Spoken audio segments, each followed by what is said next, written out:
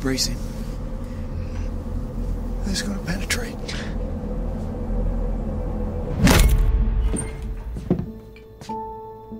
Good evening. Civilized towns, you look a man direct in the face when you talk to him. This isn't comfortable. It's not supposed to be. There's a uh, situation. Serious. Mrs. O'Dwyer was abducted. She is my everything, and those savages have got her. God knows what they're doing to her. And every second that we delay. You know who did this? You don't have a name. How many of them do you think there are? It won't matter. You have no chance against any number of them. I'm, I'm coming with you. No, no, I need you here. And this is what the backup's for, to help an emergency, not stay back. I'm coming. We're making a five day journey in three days, riding along and sleeping the bare minimum. I don't know what's west of here. No cattle trail or anything else goes in that direction.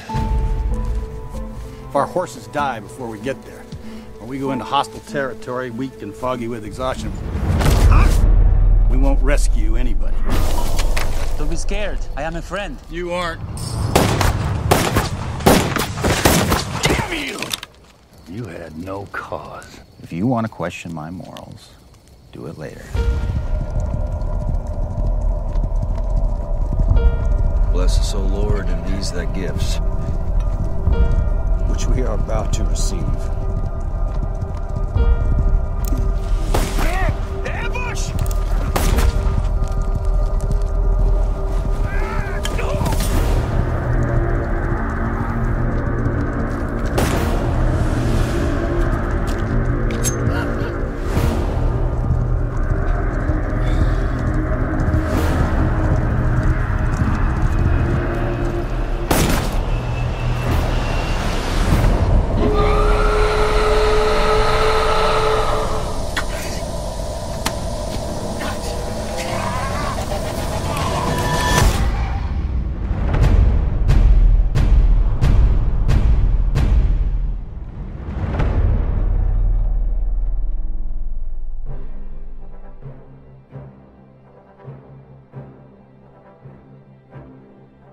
Fans Not experts, movie month. It's my sixth year doing movie month. 30 movies, 30 days, 30 podcasts that you get to listen to. Fans Not experts, movie month. It's my sixth year doing movie month. 30 movies, 30 days, 30 podcasts that you get to listen to, including this one right here. But wait, one more time. Fans experts, movie month. It's my sixth year doing movie month. 30 movies, 30 days, 30 podcasts that you have the pleasure of listening to. An episode is about to start right now. An episode is about to start right now. The theme song is fading out because an episode is starting. Wow. All right, Chris, I finally watched it. And uh damn. That movie was something. I mean wow. Folks, I just watched Bone Tomahawk, a western, written and directed by S. Craig Zahler, I believe is his name. I'm outside right now, so it might be a little windy. And uh, this movie was, I think it said 2015. It's it felt like a small movie, but with a really good cast, great acting, tremendous acting, um, a lot of familiar faces. Starting right at the beginning, some surprising, some um, just good to see again, and uh, I color me impressed. I guess is what I have to say. This was a uh, like it, at some point it felt like a small movie where I mean it's you're just dealing with four characters, and it's sad, and it's humorous, not funny but humorous. You did laugh, and then at some point scary, almost like weirdly horror, and then brutal as hell. Brutal. Where it's like, all right, I'm going to watch this. I'm not going to look away. I'm going to see um, them do this to a man. Yeah, I'll get to it. Um, so I don't know a lot about this movie. I, I, don't know a lot about this director. I know that I've um, I know that he wrote uh, a Puppet Master movie, and um, I guess he he makes brutal movies as far as violence, overly realistic, raw type of movies. He has another one. I don't know if I'm going to see that this year. I might, but um, I'll see it eventually. This one. Well, let me start by saying how awesome the cast was. Um, I, I turns out that I might be becoming a Patrick Wilson fan. I might be becoming one. Um, a couple days ago, I saw him in The Conjuring. You know, I, I, I, the first time I remember seeing him years ago was in Watchmen, uh, the superhero movie, the Zack Snyder three-hour epic from an old comic book. That's the first time I remember seeing him, and he's just kind of been in things to me. You know, I, I didn't really pay too much attention. Then I saw him in The Conjuring, and I, just he was, you know, not that it was like an amazing performance, but I just enjoyed it. And here he is again, this time. Again, I enjoyed it. Let, us talk about the plot. So, fairly simple. So, it starts off with uh, two thieves who, you know, it's the Old West. They, they go around killing people, stealing from them. And I was surprised to see David Arquette, like, was one of the thieves, and Sid Haig is the other one. Sid Haig, I've known from, like, the Rob Zombie movies.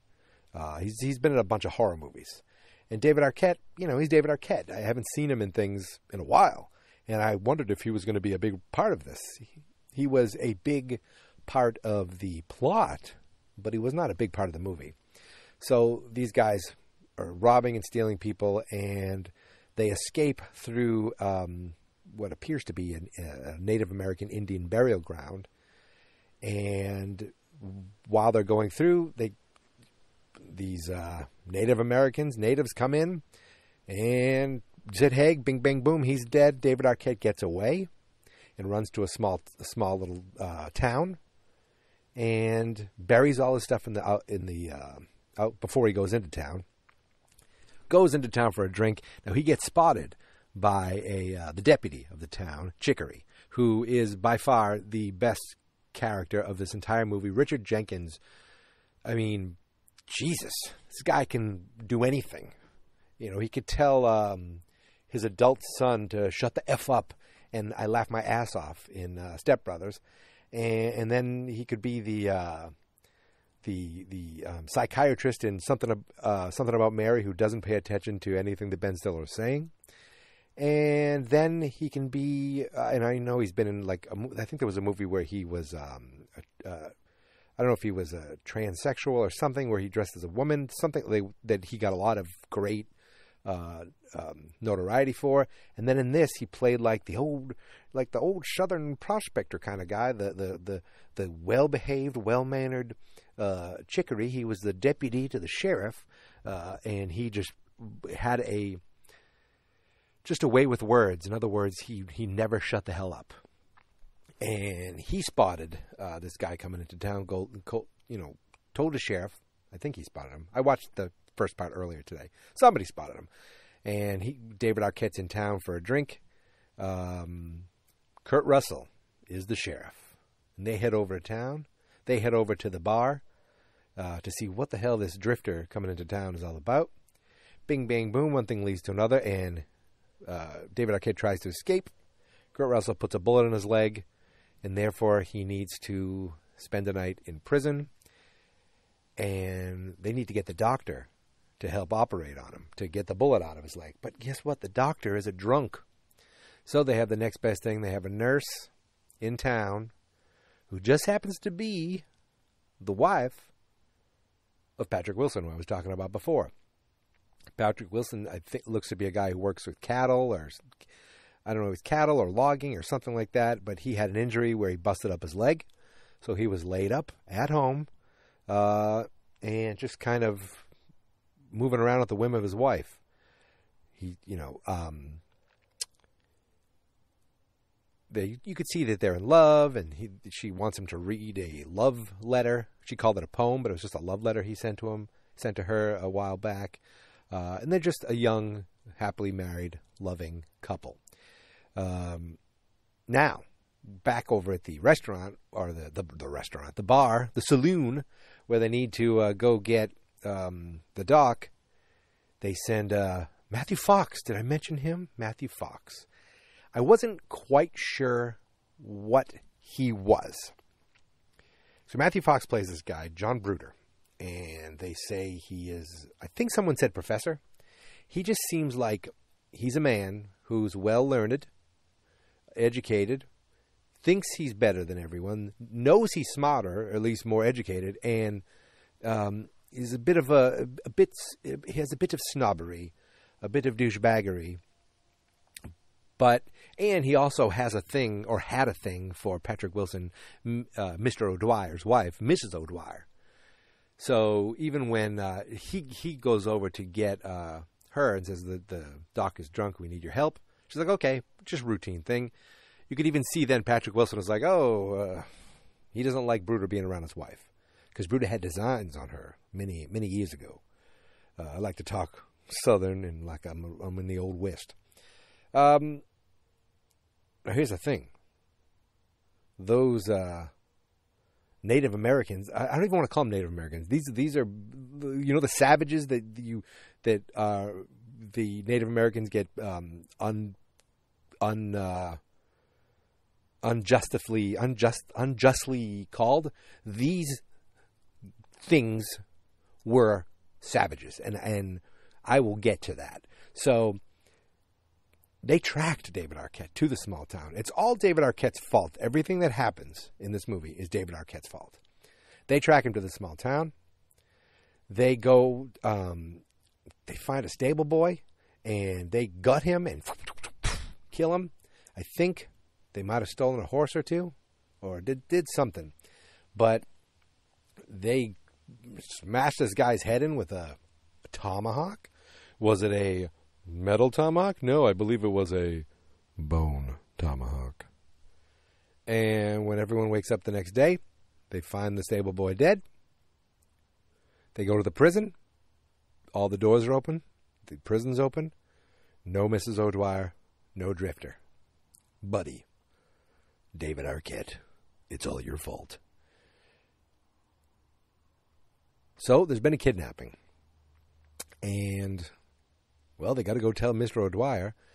And he's like, You need to sit down. Where's my wife? You need to sit down. And this guy can barely move, can barely walk, but he loves his wife so much. He's like, Damn it, I'm in on this meeting. They, he drags himself over to a, a, back to that saloon where they have a Native American guy who who lives in town, who is you know uh, seems more westernized or more Americanized or whatever you I guess Native Americans are Americanized, um, and they talk to him about what these people are. He he says they're not they're not natives, they're not uh, tribes, they're they're savages, tra- troglodytes, which I think they live in caves or something, and they they're separate from other things. They're savages. Um, there's a there's just little character things where all of a sudden uh, Michael Paré is there from Eddie and the Cruisers. He's just a guy in town. That's it. Small role. Bing, bing, boom. He's out. Uh, they're going to bury the stable boy. Uh, Sean Young played the mayor's wife and it seemed like Kurt Russell, as the as the sheriff, respected her more than him. Told her what was going on, told her what needs to happen, told her what she need what she needs to do. And she's like, "You need to address the mayor," and he just kept telling her. So I thought little things like that, where it doesn't, there's no payoff, there's no explanation, just a little bit of character where it's like, okay, she runs stuff because she talked a lot more than the mayor. Kurt Russell knows this; he knows how to get things done and that's why he addressed her. I thought that was kind of cool. Kurt Russell, you know, looks um, he doesn't quite have his Santa beard, but he's got that whole just a big, like I think of Wyatt Earp beard, big hair. Uh, the dude was the dude's killer. He was just made to you know play Western roles. Perfect. Just he, he barely has to change his look. Just grow a little beard out, add a little twang to your voice, and uh, awesome. I think the last time I saw him in a movie was well, it was the Christmas movie on Netflix where he was Safety Claus. He was not Santa Claus in this movie. He was Mayor Sharp, I want to say. I think it was his last name. There's a little moments where they're getting ready, and his wife is like, "You don't have to do this." You know, people thinking these savages took them. They, pro- the guy was saying they eat them. They're probably already dead. They took the David Arquette. They took um, this guy, another deputy, and they took the woman. And you know, Kurt, Russell's like, I have to do this. I promised Mr. O'Dwyer I would. I have to do this. He just was like, you know, he's a man of honor and he has to do this. Um, the Richard, Richard Jenkins, Jenkins, I'm coming, I'm coming. There's no way he wasn't going. There's a nice little scene where he goes and gives flowers to his wife and says, um, you know, I'll be back here. I'll see you back here soon or up there.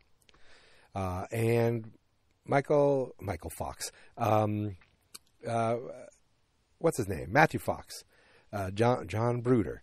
He, um, he feels he owes, um, the because he's the one who got Mrs. O'Dwyer in this in the first place. He's the one who went to her house and said, "We need to help." He brought her into it. He's the one who went to her when the doctor was drunk. I would go beat the shit out of the doctor. Uh, and so, for the longest time now, for the big chunk of the movie, it's these four guys. Because guess what? I don't care if uh, Mr. O'Dwyer doesn't care if his leg is uh, may be infected. He doesn't care if it's in pain. He is going. He's getting on that horse and he is going. And the big chunk of the movie is like a road trip um, where it's just four different men all on the same mission, you know, for various reasons. And it was just like a series of character moments and acting, and it was awesome. And Richard Jenkins, like, was the anchor the whole time, just kind of like asking lots of questions, talking a lot of things, bing, bing, bing, boom. He was like so impressed that Matthew uh, Matthew Fox's character had like a telescope that he called the German. It was like German design, really fancy. They had another one they called Vanguard that was theirs. It wasn't as good. Um, so like at one point they're looking out for the for the uh, for the savages for the troglodytes, and he looks through the the telescope and he's like, "Oh my God! I wish I had this when I went to the rodeo." There's like serious stuff going on. They're gonna they, could go get killed, and these are the kind of things that he's saying. It was he was amazing. Um. Now they were going, they were moving along as good as they could. Uh, Matthew Fox set up a tripwire with bells on it.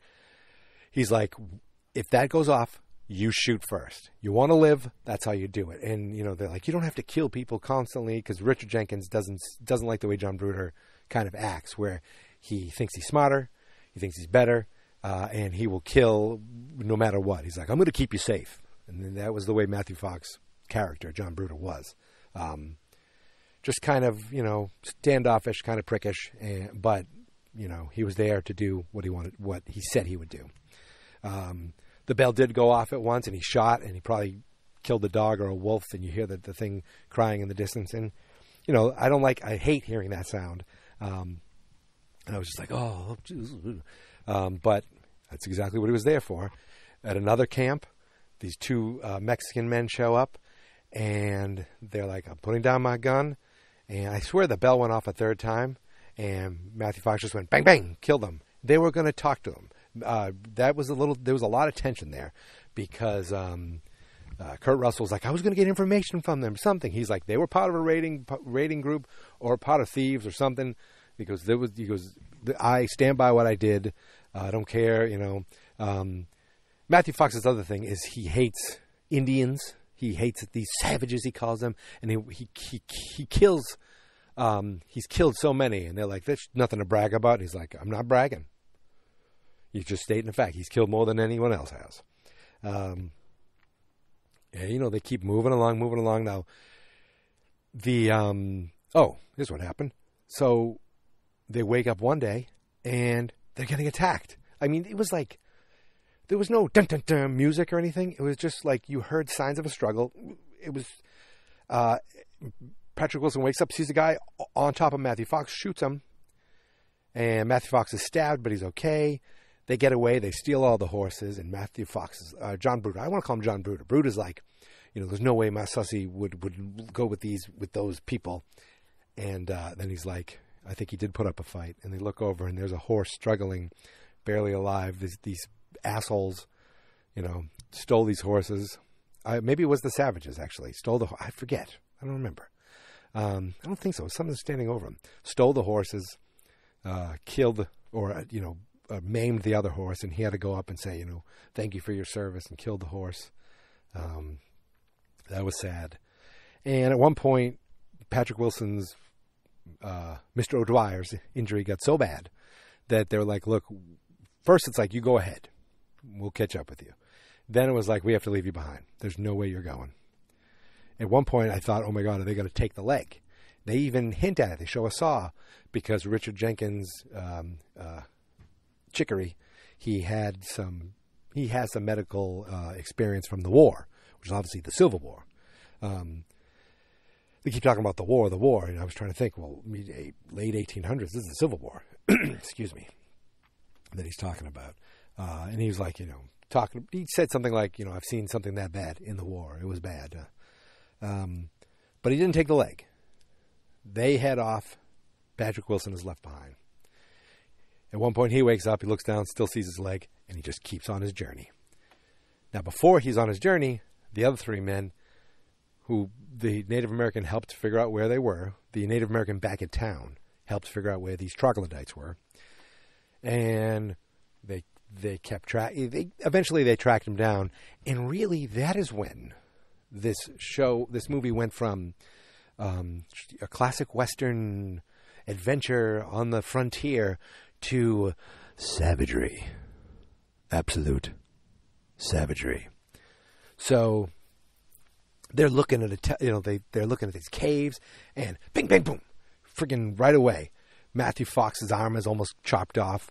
Uh, Kurt Russell gets an arrow in the arm, and uh, like a rock or something skips off of Rick, Richard Jenkins Rick, Richard Jenkins' head. He's got this big wound in his head, and Matthew Fox is like, you know, I forgot how good he shows pain. I, am a big Lost guy. I loved him in Lost, and just just the the the emotion he, you can read on his face was like was awesome, and he was he was done for. He knew he was dead. He knew this, you know, um, something that nothing good was going to happen.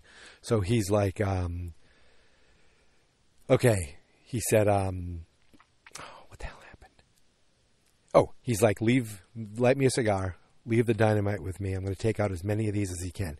He talked. He told earlier that he said he or he said uh, I. He didn't want to talk about how many he killed. He said many, not all of them women, not all of them men. Uh, and it turns out he's killed men, Native American men, women, and children. So, you know, not great, not not a great character trait, but when he was a kid, they killed his mother and his sisters. So that's the way he sees it. Eye for an eye if not worse. Take out as many as he can. Now, these guys, these troglodytes, were way worse. Like the, you know, Native Americans, I feel like were fighting for their friggin'. I feel like they were fighting for their land and for their and for you know their their families. These these these guys were like monsters. Um, I guess fighting for food. We'll get to there. So he's like, I'll take out as many as I can, and these guys show up, and it's all in broad daylight too, which is like oh, these guys, and they're all like head to toe, like covered in clay. And uh, Matthew Fox looks at it, and you just see this thing throw, and it looks. I think it was the you know you you don't really see it right away. When you come back later, you see um, they Richard Jenkins and Kurt Russell goes away. They're like, let's get out of here. When they come back later, you see a big giant tomahawk in Matthew Fox's head, a bone tomahawk. It looks. I don't know if it was like made of it made from some animal. They took a giant bone, carved a friggin' tomahawk out of it. Um, like the whole movie, like the title of the movie obviously is in reference to that, but it's it's even that is savage. Where it's like the weapon of choice of these troglodytes is the title of the movie. I don't know why they chose the title. It's it's an awesome title, uh, but it's a, it's an interesting one. That that's what they focused on. Um, when it's really a, a, uh, four men on the open trail trying to save some save some people. The weapon of the quote unquote enemy is what is focused on. Is what the title is. Just just uh, worth mentioning. So they're dead. Uh, Matthew Fox is dead. Kurt Russell and Richard Jenkins, you know, leave because he's going to light off dynamite. He never does. They come back. They get caught. whipped up into this ton into this cave, and um, oh, Lili, Lil, uh, Mrs. O'Dwyer still there. Lili Simmons. I honestly know her from Hawaii Five O, but I just another face I recognize. She's there. They're put into a into a jail. She's put into a jail, and they're like, "Where's uh, the drifter?" Oh, they ate him. Oh, okay. So David Arquette was in the movie for a few minutes, shot in the foot, put in prison, and then um, he was later eaten by these savage uh, troglodytes. Um, my God, it's 11:15 p.m. I have 45 minutes to get this on the internet for it to count. So let's let's hurry along. So the, these these troglodytes are like you know they they don't talk, but they have this weird this weird screech. This is that is almost supernatural. So I don't know if, uh, what these I don't know how they did this because Patrick Wilson is making his way through and he uh, shoots one of the. He's getting closer and closer. He confronts one of these troglodytes, shoots it, and sees something in its neck. Digs it out, and it becomes like a like a whistle almost. This I didn't understand. Were these? Was that like biological? Just like these were just different humans. They were like evolved or something. I don't know. They, these these weren't put there. So that was confusing, but it was cool. That's where it almost felt supernatural. Uh, and there was one guy who had bones sticking out of his face. Now that could have been done, you know, by he could have done that himself. But um, yeah, that was wild. And they they they make this giant screech with this whistle, and now um, Patrick Wilson had one for himself. It was like having a, uh, a duck call. He'd blow it, someone come, bam, shoot him. Meanwhile, back in the cave, they um, you know, they're trying to break out. At one point, Kurt Russell gets his fingers chopped off, or some of them. It is just savage shit happening. But the most savage thing of all oh, remember that deputy? He's still alive. They take him out in front of all of them. And basically, to put on a show, I think, in front of them to say, this is what's happening to you. Strip him naked, scalp him, I believe, stick the scalp in his mouth then flip him over upside down, spread his legs.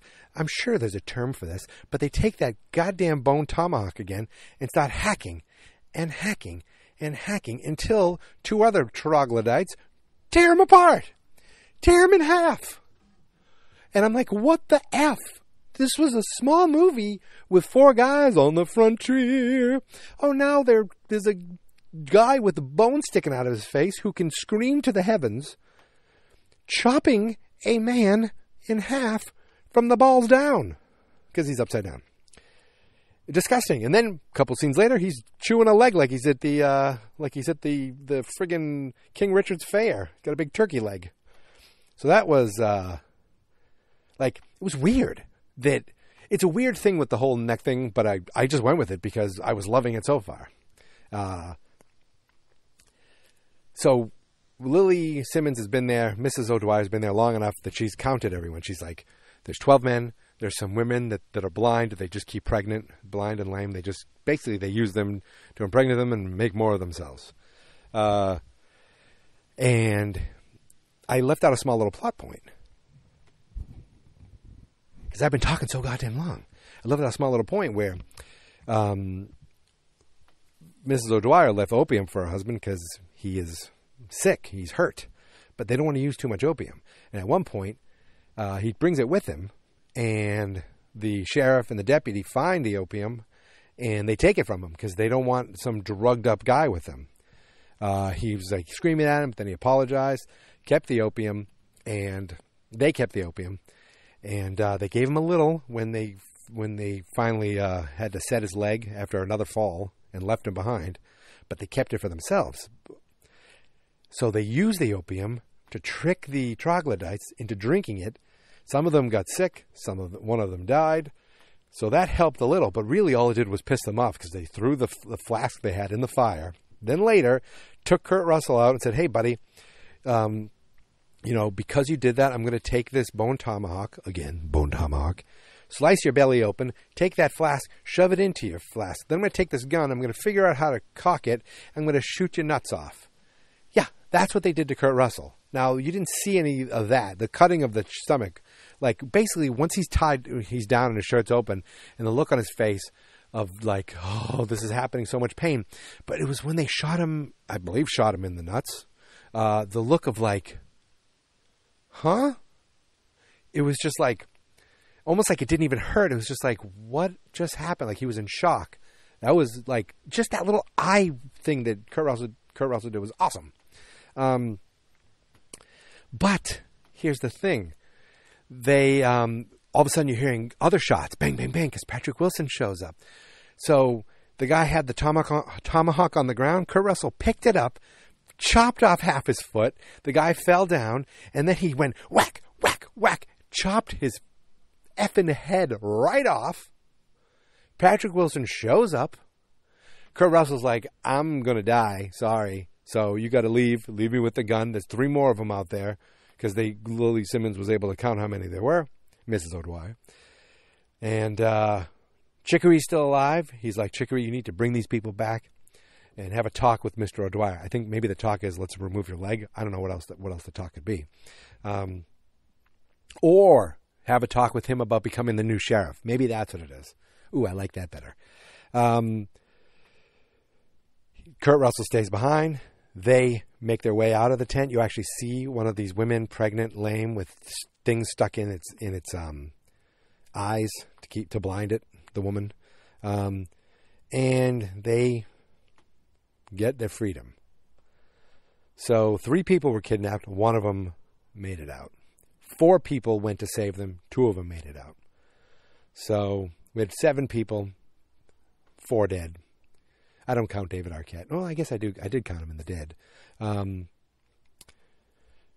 but uh, just like I, I, went over the whole thing. I hope you saw the movie. Otherwise, I spoiled it. Um, and, and, there's a podcast I listen to called um, Hellbent for Letterboxd, which is a couple guys that I've just listened to for years on different various podcasts. They talk about westerns, uh, and I don't know if I I listened to them talk about this a while ago, but uh, I'm going back and I'm listening to it again because now that I know it, now I I forgot if I did listen to it, I forgot everything about it. So watching this again or listening to it again will be great. Um, and I think that's it. I mean, I left out a bunch of things. At one point, Richard Jenkins talking about flea circuses, and it was just a nice little moment because he was just looking for something positive to talk about. Well, they all thought they were going to die. Uh, Matthew Fox made a comment about about um, the guy's wife, and Mr. O'Dwyer, Patrick Wilson punches him in the face, and he's like, "Hey, I'm risking my life out here for you people." And you know, it was just like I I feel like I earned the the right to say some you know something crude like that. And he's like, "Well, you haven't." Um, so I, it was just little things of little things that happened. I thought were were you know just interesting, well written. The acting, sometimes it was just the words they said, a lot of clever things. Sometimes it was just the eyes and the looks on their faces. I love stuff like that. And there was music in this. But at some point, at one point, I'm like, was there any music in it? Like I didn't even notice it. And it was, and when I, when I realized there wasn't music in it, like is because like things were happening, and it wasn't like bum bum bum bum bum bum bum. It was just shit was happening, and there was nothing but the sound of what you know the real life sounds of savage violence. Uh, there was a score. I I heard it towards the end, so I'm sure there was a score throughout. It sometimes it just happens in movies you don't even notice it, but I like the idea of eh, minimal amount of music. At the end, end during the credits, there's a song where it's like four men ride to their doom, and I was like, this is a weird song. It had a had like a old old you know uh, country western feel to it, but it, it didn't feel that old. So I looked and the writer director is credited as one of the writers of that song. That four men ride to their doom. It was just a very strange, weird country kind of twangy song. And four men ride to their doom, or four riders to their doom, or something like that. But it was cool. I liked that. I liked everything about this movie, even the the the, the violence. It was like that, that's what happened. Even the weird, like, what are these creatures? Because they seemed almost a little bit of like creatures like they didn't talk at all, um, and they had this this weird extra thing in their neck, and they could communicate by screaming. So I don't know. Were they were they some kind of special creatures? I have no idea. But it doesn't matter because the action was great. The acting was superb.